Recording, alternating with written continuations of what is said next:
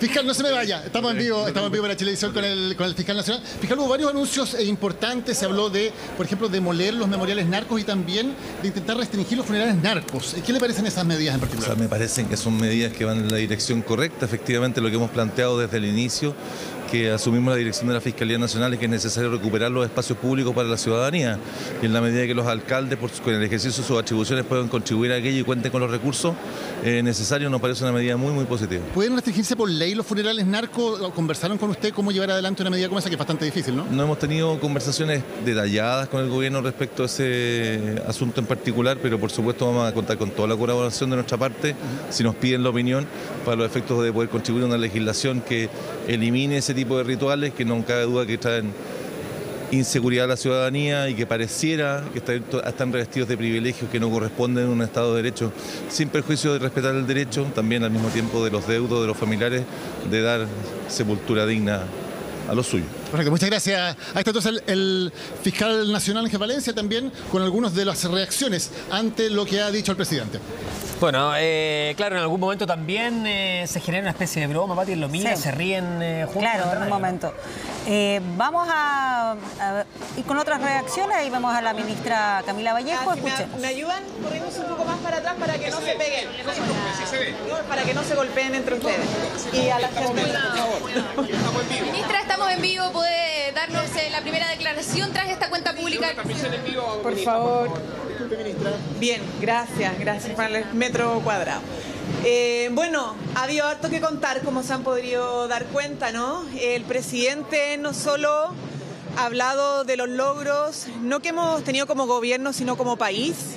En este año, tres meses, ya me autocorregí en la mañana de que esto no se trata de los logros legados del presidente Boric, sino que de muchos y muchas que han trabajado por alcanzar las 40 horas de jornada laboral, por alcanzar el tan anhelado royalty minero, la ley TEA, eh, por la reparación, ¿cierto?, a víctimas o familiares de víctimas de femicidio o para el pago efectivo de pensiones de alimentos o incluso el salario mínimo.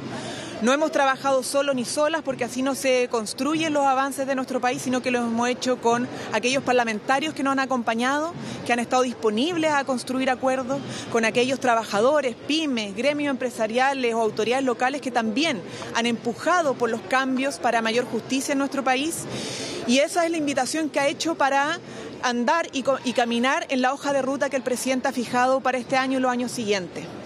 Eh, demostrando que hemos sido capaces, a pesar de las dificultades de conseguir esos avances con acuerdos, con diálogo, podemos seguir avanzando mucho más. Y avanzando para construir las bases de un estado de bienestar. El presidente ha mencionado tres grandes ejes para un estado de bienestar. Un estado de bienestar es un estado que protege, que cuida y que desarrolla el país y que empuja el desarrollo. Y por eso ha hablado de derechos fundamentales, ha hablado de seguridad para que los ciudadanos y nuestros compatriotas, se sientan más protegidos y también ha hablado de cómo desarrollamos nuestro país en todas sus regiones, desde el turismo, desde la agricultura, ¿cierto? Propendiendo también a la generación de industria con hidrógeno verde, con litio, para desarrollarnos con justicia social y con sostenibilidad. Y en eso tenemos, obviamente, plazos, tenemos metas que cumplir en salud, en pensiones, en crecimiento, en generación de empleo en ciencia y tecnología. Yo creo que el problema de la, expresidenta Michelle Bachelet, que también está entregando declaraciones. con los deudores del crédito fiscal para estudiar en la universidad, el famoso CAE. Yo creo que es clave que dejemos de pensar en la política pequeña, que pensemos en, lo que la gente necesita y que haya un gran desacuerdo por una reforma tributaria. En términos de los 50 años, sin duda que es clave e importante lo mismo que todos seamos capaces sin negacionismo del pasado, hacernos cargo de lo que es nuestra historia, con, las cosas buenas y las cosas malas y hacerse cargo también de las cosas malas. Y nadie puede justificar la violación de derechos humanos, nadie puede justificar el que, el que se justifique un golpe de Estado. En Chile un país democrático, tenemos que ser capaces de resolver nuestros problemas a través de las vías democráticas. La democracia no es perfecta, pero al menos nos permite encontrar vías de resolver nuestros conflictos. Y creo que estos 50 años, de verdad, debieran ser un momento en que todos, en el mismo espíritu que ya decía recién, nos sentemos, digamos, aquí ha habido problemas graves en nuestra historia, ¿cómo los solucionamos? Fortaleciendo democracia, promoviendo y apoyando los derechos humanos, porque esos son valores de todos nosotros, no son valores de un lado o de otro, una sociedad, o al menos debieran serlo, de todas y todos los compatriotas. Muchas que valoren el golpe militar presidente y la figura del ex. Eh, por, eso, por eso digo, digo que es indispensable que todos nosotros hagamos esa mirada a la historia de lo que nos hizo tan mal y de qué, de qué manera, y puede haber opiniones diversas sobre el pasado, ¿no? Dentro de ciertos límites. O sea, si alguien dice que en Chile no hubo violación a los derechos humanos, eso claramente no es cierto. Hubo violaciones a derechos humanos que están súper conocidos, eh, registrados, etcétera. Puede haber explicaciones de por qué pasó lo que pasó el año 73. Pero lo que no puede haber ninguna diferencia, eso lo queremos en el, para el futuro de nuestro país. Y queremos un país que basado en la memoria y en ese sentido la conmemoración de los 50 años es una oportunidad para eso. Todos nos comprometemos por la democracia y por el aseguramiento de los derechos humanos, todos los derechos humanos, no solo políticos, sino sociales, económicos, ¿no es verdad?, ambientales, de todo tipo de derechos para, todo, para todas las personas en todos lados del país. Y creo que ese debiera ser, es algo que suena abstracto, pero no es abstracto, porque cuando estamos hablando de derechos estamos hablando de una pensión digna, estamos hablando de una casa digna, estamos hablando de salud digna, de educación de calidad, de eso estamos hablando. Así que yo creo que ese debiera ser de verdad el espíritu de todos cuando lleguemos al 11 de septiembre y lo que construyamos durante este año, hasta antes de eso y después de eso, para empujar por un Chile cada vez más democrático, cada vez menos menos, más inclusivo, donde todos tengan y sientan la dignidad y el respeto que todos nos merecemos. Muchas gracias, muchachos. Bien, ahí las declaraciones entonces de la expresidenta Michelle Bachelet. Escuchamos ahora al ministro de Hacienda, Mario Marcel. Por lo tanto, no podemos esperar que el litio sea capaz de resolver eh, necesidades de gasto tan importantes como esta. Pensemos que en el caso de, eh, del sistema previsional, eh, solo el aumento de la PGU a 250 mil pesos y el aporte que tendría que hacer el Estado como empleador al aumentar la tasa de cotización de los empleadores, eso solamente equivale a 1,3 puntos porcentuales del producto. O sea, sin reforma tributaria no va a haber condonación de CAE y tampoco va a haber pago de deuda de los profesores. Sí, el, el CAE es un tema distinto, es un tema que está referido a presentar un proyecto después de la reforma tributaria, pero va a tener su propio mecanismo de financiamiento.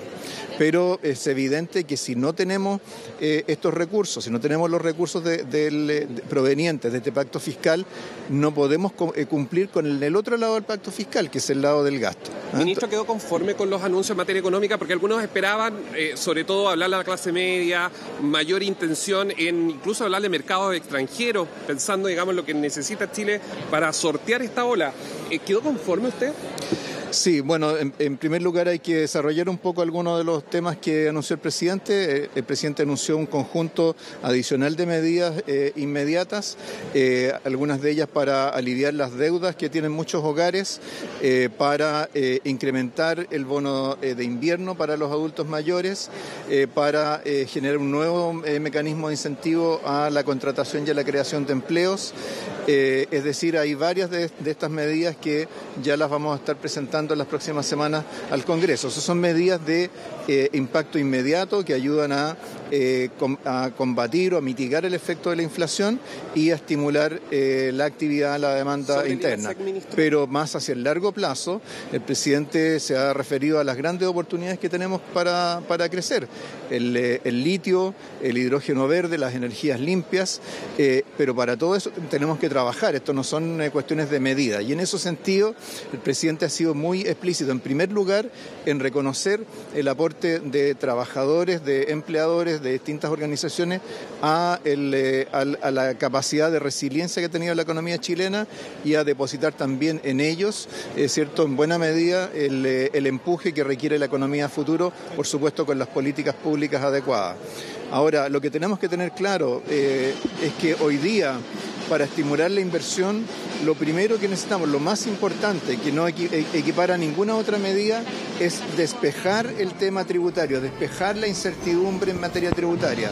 Igual como lo hicimos en el caso del royalty minero, que nos va a facilitar la inversión minera, también tenemos que hacer lo mismo con la reforma tributaria, incorporar en el proyecto de reforma tributaria los incentivos a la inversión que están eh, comprometidos, así que ahí es donde está concentrado en buena medida los, esfuerzos que tenemos que hacer. Ahí está el ministro de Hacienda, Mario Marcel, y ahora Daniel Matamala se encuentra con eh, la ministra de Salud. Daniel, te escuchamos.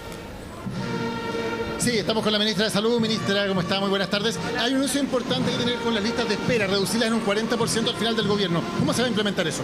Bueno, eh, con las mismas estrategias que hemos estado impulsando hasta ahora, que es aumentar la producción de la atención de salud fuera de los horarios, eh, la compra hacia el sector privado, eh, la mejoría en la productividad a través de los centros de resolución regionales que son, implican que la gente pueda salir más rápido a la lista de espera.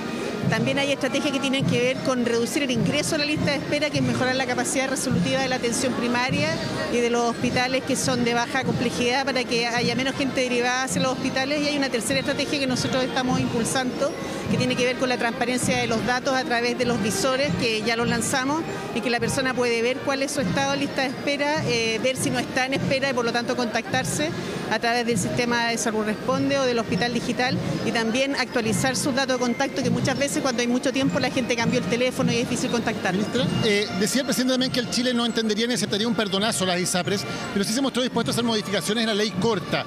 ¿Qué cambios se le pueden hacer realmente a esa ley corta? Porque eh, la oposición insiste en que tal como está la ley significa sencillamente la destrucción del sistema de salud privado.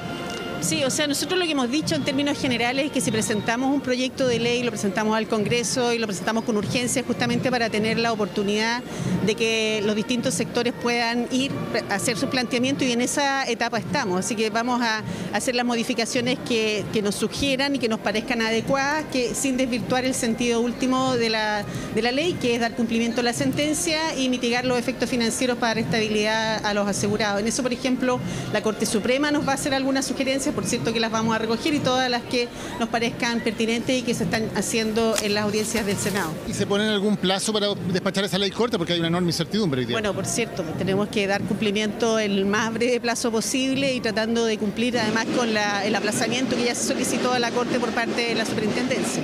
Muchas gracias. La ministra de Salud, Jimena Aguilera, entonces, con eh, los eh, anuncios en esta materia. Sí, también eh, el presidente en algún momento dice que... Ah, te escuchamos. tiene más reacciones. escuchamos, justo el presidente del Senado. Senador? bueno, usted tiene, usted tiene muchísima experiencia en cuentas públicas, ha estado en gran, la gran mayoría de las que ha habido en los últimos 30 años. Nunca había tocado una tan larga. ¿Qué le pareció? Lejos la más larga. No, larga, larga, larga. Eh, a ver, como todas las cuentas públicas hay cosas que uno puede compartir. Hay temas que a uno le importan mucho que estén presentes. Cosas que uno puede tener una discrepancia. A mí me gustó que por primera vez yo vi un ánimo de enfrentar, ojalá se concrete bien los temas de seguridad.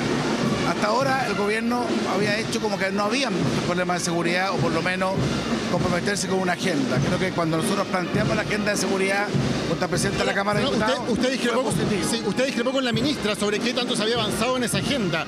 ¿Le pareció correcto lo que dijo el presidente en términos de, los plazos que hay? Pero parece que fue buena la discrepancia porque se agendaron, se apuraron los, proyectos. Yo le había dicho que de los 12 proyectos que el gobierno había comprometido, no se había presentado ninguno, ahora me doy cuenta, esta semana presentaron la mitad. Es bueno a veces tener algunas discrepancias, espero que sea positivo, esto no es andar peleando. Yo quiero que Chile avance en la agenda de seguridad y me voy a jugar la presidencia para que esto sea posible. Veo bien que a lo menos esta vez eh, esa discrepancia haya generado buenos resultados. Insistió una y otra vez también el presidente en la relevancia de la reforma tributaria y dijo que a fines de julio podría reingresarse a través del Senado. Se necesitan los dos tercios ya del Senado. ¿Hay posibilidad realmente de revivir la reforma tributaria? Yo tengo ahí una discrepancia más de fondo con el presidente, se lo dije al final. No, hoy día la situación económica de Chile es muy difícil. Tenemos un IMAC que va a la baja, nos dijo el Banco Central. Tenemos un desempleo que va al alza, lo dijo el INE. Y el mismo Banco Central nos dice que los chilenos hoy día estamos peor que hace 10 años atrás en materia económica. Yo pensé que hoy día va a ser el momento de una agenda de crecimiento, de desarrollo. Y me doy cuenta que todo fue aumentar los impuestos para todo. Entonces, para la salud, para la educación, para el tributo. O sea, yo hay una cosa que yo, a mi juicio eso no me calza mucho, que todos los temas del económico del día de hoy se resuelvan con una mayor tasa impositiva. Yo creo que eso no está bien pensado. Yo hubiera gustado una agenda de seguridad que le habrá a las pymes, que le habrá a los emprendedores, que le habrá a todos los que ven que las cosas le suben todos los días y que tienen confianza en que puedan haber políticas públicas que avancen en ese sentido. ¿No ve factible, por lo tanto, que estén los votos de la oposición para la reforma tributaria? Mire, yo no, me, me bien de sorpresa, la verdad que no lo hemos conversado internamente cualquier cambio tiene que ver primero cuánto ahorra el Estado. Yo lo único que crece hoy día, eh, el Estado cada vez más grande. Nos dicen que hay 90.000 funcionarios más, algunos dicen que son menos. Eh, lo que más crece es el Estado, entonces son recursos en esa lógica complejos. Así que veamos lo que es lo que proponen, pero yo creo que aquí lo que falta es un plan para desarrollar Chile más que una permanente lógica tributaria. Gracias, senador. El presidente del Senado, Juan Antonio Coloma. Dani Tirs, vamos contigo después del rechazo en la Cámara de Diputados y que en el Senado esté la voluntad política de avanzar. Además, yo creo que hay sectores empresariales que tienen más conciencia. A esta hora habla el senador eh, Juan Ignacio Lator. Más conciencia de la necesidad de un pacto fiscal, de no dejar abierto eh, el tema del pacto tributario para adelante, poder cerrarlo este año y poder financiar demandas sociales que se vienen arrastrándose mucho tiempo en nuestro país, desde el estallido social, desde la pandemia, las desigualdades que hay en nuestro país. Por tanto, es una oportunidad, es un llamado sincero que hace el presidente Boric a todas las fuerzas políticas para llegar a un acuerdo este año. Senador, habla usted de la reforma tributaria como uno de los temas que se destacaron durante esta cuenta pública. También el llamado del presidente Boric a 50 años del golpe a superar los tiempos de miedo y odio, dijo, que llevan a caminos de inaceptable negacionismo. ¿Cómo recibió usted esas palabras? Bueno, yo creo que la preocupación no solo que se ve en Chile, sino que en otras partes del mundo, como hay fuerzas políticas que van creciendo en su apoyo popular, pero que niegan la violación a los derechos humanos, que la relativizan, eh, que reivindican, en el caso de Chile, la dictadura cívico-militar, eh, el pinochetismo, y eso aportas, además de eh, escribir una nueva constitución para Chile, me parece que puede ser un retroceso. Por eso el llamado al presidente es a que todas las fuerzas políticas, sin exclusión, avancemos en un pacto civilizatorio basado en los derechos humanos y en la defensa de la democracia, sin eh, sin caer en trincheras, como, un, como una deuda que el Estado tiene, que la sociedad en su conjunto tiene en términos civilizatorios, mirando al siglo XXI reflexión también el presidente respecto a eh, que la anterior convención no hizo suyos eh, la necesidad de encuentro, unidad, entendimiento que esperaban los chilenos y chilenas y también hacía eh, una reflexión en torno a no haber frenado antes este ambiente, este clima. ¿Cómo lo ves también? Creo que es una reflexión muy sincera, una autocrítica muy sincera que ya la hemos hecho antes de, a pesar de haber tenido mayorías las izquierdas en el proceso anterior, no haber incluido a sectores de derecha que querían avanzar también hacia una nueva constitución. Y por tanto, eh, el no repetir los mismos errores en esta nueva convención, donde las derechas tienen mayoría y podrían, eh, como se dice coloquialmente, pasar máquina, no caigan en el error de maquillar la actual eh, constitución o dejarla tal cual está o dejar un texto muy conservador, muy de derecha, sino que esto tiene que ser un pacto eh, de convivencia democrática entre las distintas fuerzas políticas, también con las izquierdas que estamos representadas ahí, que somos minoría, eh, y poder dotar a Chile de una nueva constitución democrática. Bien, ahí las declaraciones entonces del senador Juan Ignacio Latorre. Vamos de inmediato a revisar otras reacciones. Daniel Matamala ahí con el ministro de Transportes. Daniel. Con el ministro de Transporte, Juan Carlos Muñoz. Ministro, ¿cómo está? Muy buenas tardes. Muy buenas tardes. Varios anuncios en la materia. Se hablaba de estos eh, trenes de cercanía, 30-30, tres nuevos servicios de tren. ¿En qué consiste su apreciación? Bueno, la idea es poder ir avanzando no solamente en el tren como un medio de transporte de larga distancia, sino que también entendiéndolo como un tren un poco más de cercanía. Parecido a lo que estamos haciendo ahora eh, recientemente en Chillán. Hacerlo también, por ejemplo, en todo el tramo entre Curicó, Talca, Linares.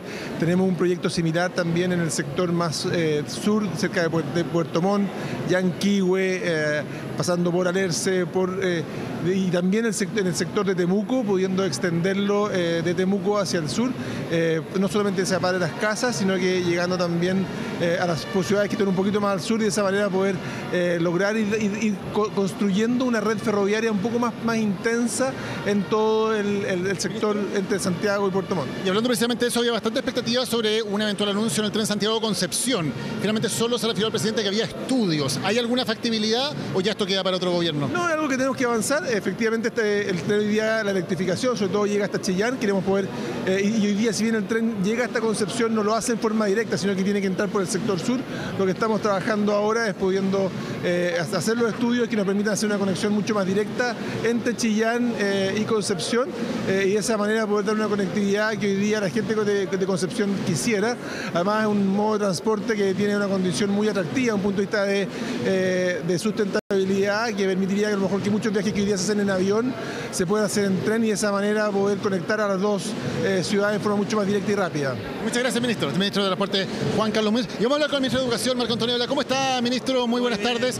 Eh, buenas tardes. Quiero partir preguntándole por una alusión personal que hizo el presidente Boric hoy. Dijo que no puede ser que haya críticas a un ministro por ser homosexual. Eh, ¿Usted considera que efectivamente las críticas que ha habido contra su gestión en los últimos días tienen que ver con su orientación sexual?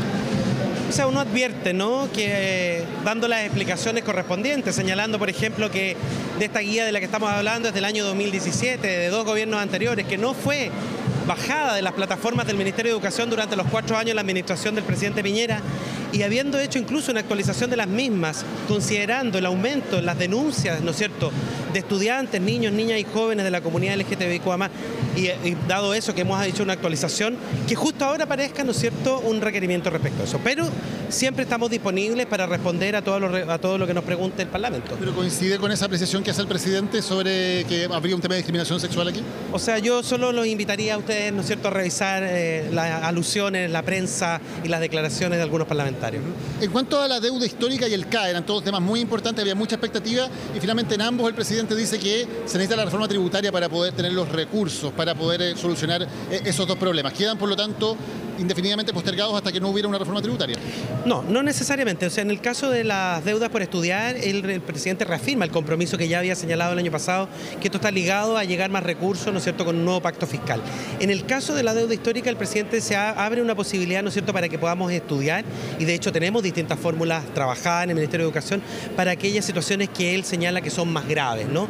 O, o más urgentes. Y estas situaciones más urgentes probablemente van a estar vinculadas a los temas de rangos etarios, ¿no es cierto?, de aquellos profesores o profesoras a las que se les debe esta justa reparación. Eh, ¿Pero significa eh, algún tipo de bono de indemnización Vamos para los, los- Claro, vamos a comenzar a trabajar en esa, en esa fórmula, acogiendo ¿no es cierto? este llamado que nos hace el presidente, señalando que para la reparación de la deuda histórica también es imprescindible un nuevo pacto fiscal, sin embargo, que vamos a trabajar o vamos a tener una respuesta para aquellas situaciones que se señalan como más urgentes. Hizo una autocrítica también el presidente Boris, dijo a quienes eh, eh, pedimos postergar mucho la, la reapertura de las escuelas debido al gran retraso que ha generado eso en la educación. ¿Usted comparte, se siente parte de esa autocrítica también, de que su sector tal vez fue injusto con la gestión del gobierno anterior en esa materia?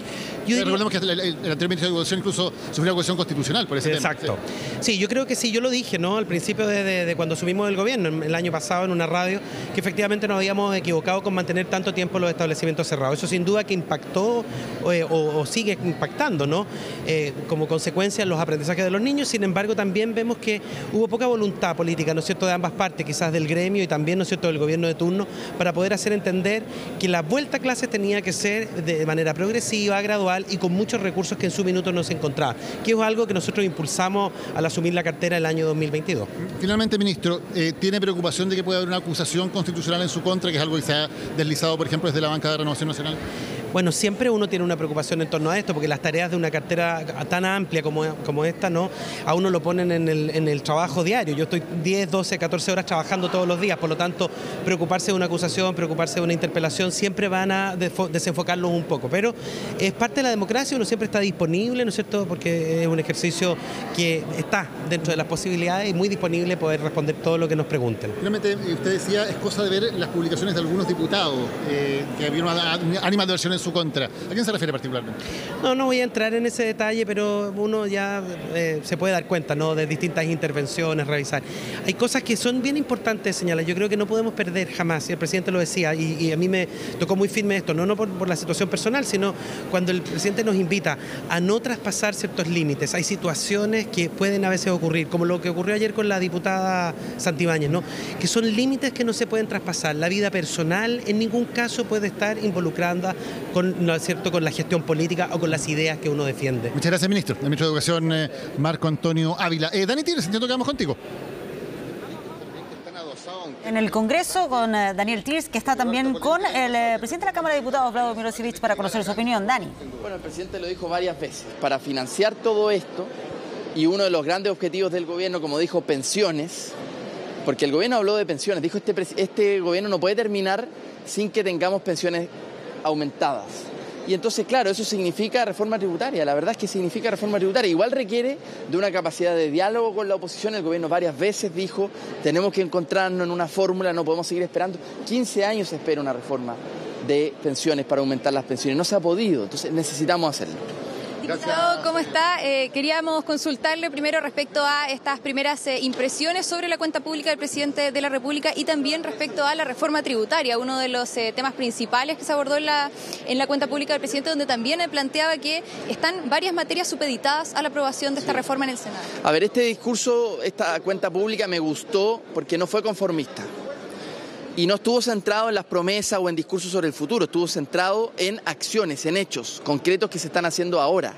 Eso me gustó porque creo que el presidente utilizó el tiempo, que fue una cuenta pública larga, pero utilizó el tiempo en reportar qué se está haciendo, no, no solo respecto de promesas sobre el futuro. Ahora, creo que el presidente también dijo que esto va a requerir de un diálogo con la oposición y que esperaba él, y yo lo comparto, que dejemos las peleas dejemos las peleas entre nosotros, entre políticos que no le importan a nadie y vayamos a lo que realmente a la gente le importa. Una de ellas, aumentar las pensiones en Chile. Hay que aumentar las pensiones. Esto es parte del corazón del gobierno, pero también de la oposición, si todos queremos que las pensiones aumenten. Así el presidente, decía el ministro Mario Marcel que si es que no se aprueba esa reforma tributaria, no va a haber condonación del CAE, no va a haber eh, eh, pago de la deuda de los profesores. Finalmente hay varias eh, materias que están en el programa que no se podrían concretar si es que eso no se aprueba. Y ya hubo un rechazo previo. Bueno, es una cuestión matemática.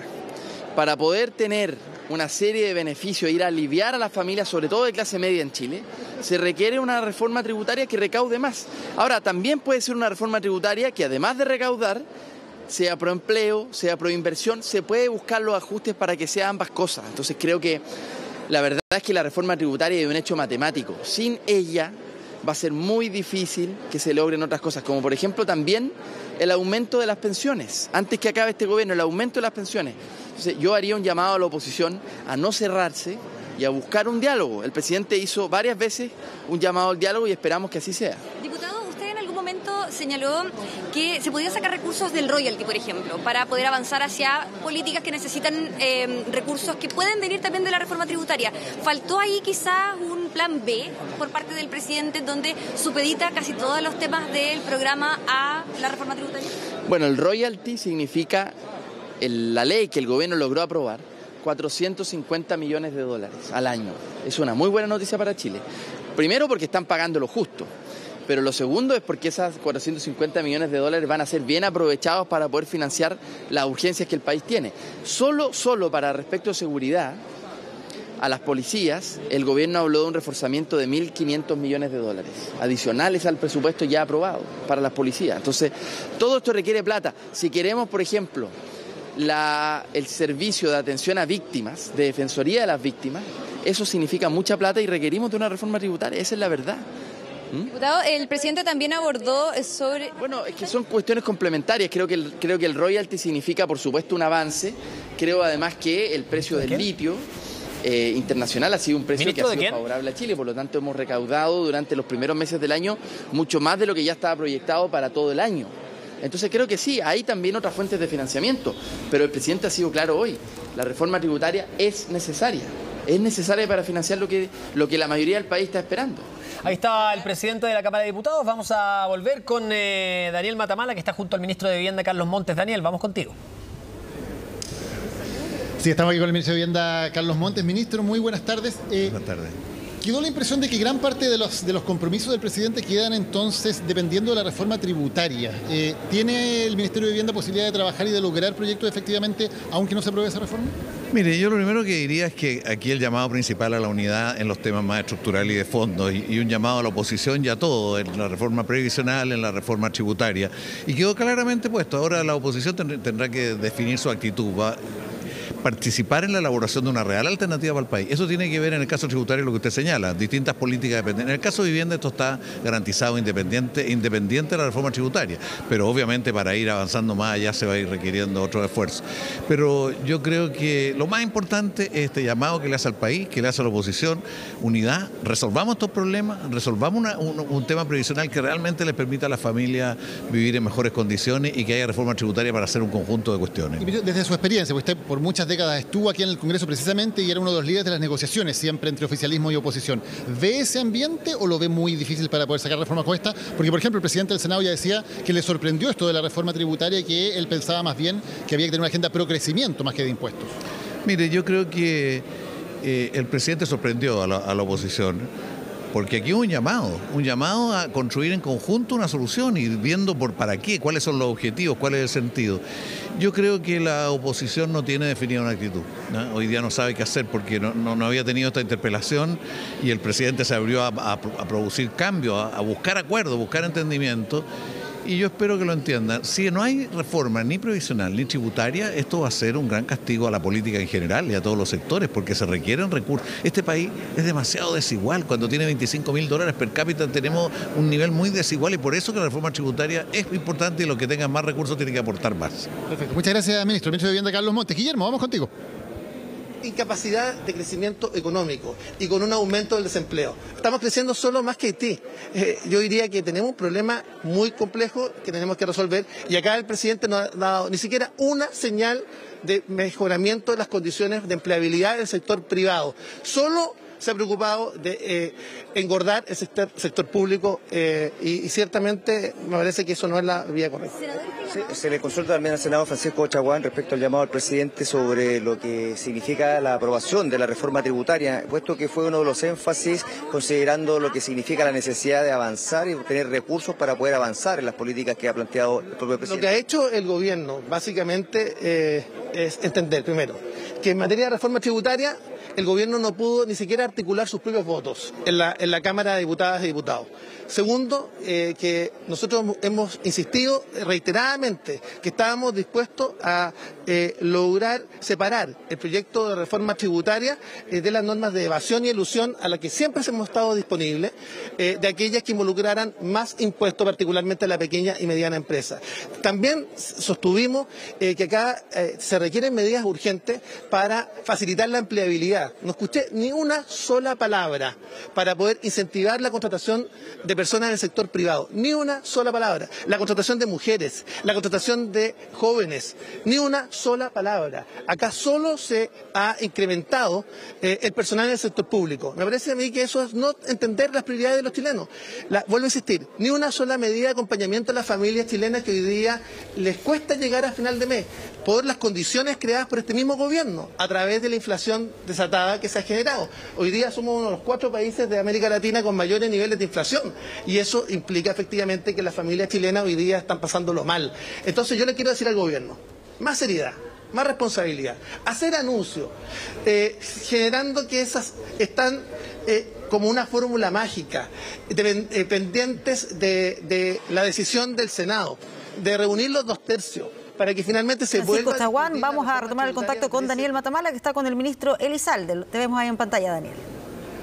Sí, con el ministro secretario general de la presidencia, Álvaro Elizalde. Ministro, buenas tardes. Tal vez usted es el que ha quedado con la pega más difícil con este discurso del presidente Boric, en que habla de que vuelva a la reforma tributaria con dos meses de negociación y que vuelva a negociarse en julio. ¿Es posible efectivamente resucitar una reforma tributaria que ya fue rechazada? A ver, en primer lugar, el presidente, en su condición de jefe de Estado, nos interpela, nos convoca a todo a un diálogo constructivo, entendiendo que hay necesidades sociales que son importantes, de las cuales tenemos que hacernos cargo, pero que requieren de financiamiento gastos permanentes implican recursos permanentes. Y ese es el sentido de la reforma tributaria. Por eso nosotros esperamos que finalmente prime una actitud constructiva de todos los actores. El presidente en ese sentido hace un llamado, yo diría con un sentido patriótico, pero profundamente humilde. Diálogo democrático para construir mayoría, para avanzar en iniciativas que son fundamentales para Chile entendiendo que eso requiere sentarse con todos los actores, porque en caso contrario vamos a seguir postergando eh, soluciones a problemas sociales muy profundos. ¿Para qué decir en materia previsional? Cuando hay un diagnóstico compartido de que Chile requiere un sistema de seguridad social porque el sistema FP no está garantizando las pensiones con el monto que merecen los adultos mayores. ¿El ministro lo ve factible porque las primeras reacciones de la oposición ya son que más bien lo que se necesita son medidas pro inversión y no aumentar los impuestos en un momento económico como este? ¿Ve factibilidad, ve ambiente real en el Congreso para poder, para poder hacerlo? Bueno, yo espero que prime finalmente un sentido patriótico, un sentido de responsabilidad porque finalmente si vamos a comprometer más recursos fiscales de carácter permanente, se requieren ingresos de carácter permanente. Y por ello el presidente da a conocer la serie de medidas que está impulsando el gobierno y al mismo tiempo señala que es fundamental tener una fuente de financiamiento como es el caso de la reforma tributaria. Y por eso yo espero que finalmente prime una voluntad constructiva de todos los actores, porque finalmente el presidente lo dice claramente, más que estar peleándonos entre nosotros, aquí tenemos que darle respuesta al país. Y son muchas las necesidades sociales que tiene Chile y la forma de enfrentar esas necesidades sociales son con más recursos que los permite una reforma tributaria. Muchas gracias. Gracias, ministro. El ministro Álvaro Elizalde, entonces, secretario general de la presidencia. Volvemos con ustedes. Vamos a volver también con ustedes y con nuestros equipos desplegados en distintos puntos de la ciudad de Valparaíso. Estamos revisando la imagen que nos entregaba hace algunos minutos nuestro dron, por supuesto, con el trayecto del presidente hacia el Congreso. Nos vamos a separar brevemente, 3 de la tarde con 41 minutos. Sigan con nosotros en esta transmisión especial del Día de la Cuenta Pública del presidente Gabriel Boric. Seguimos de inmediato.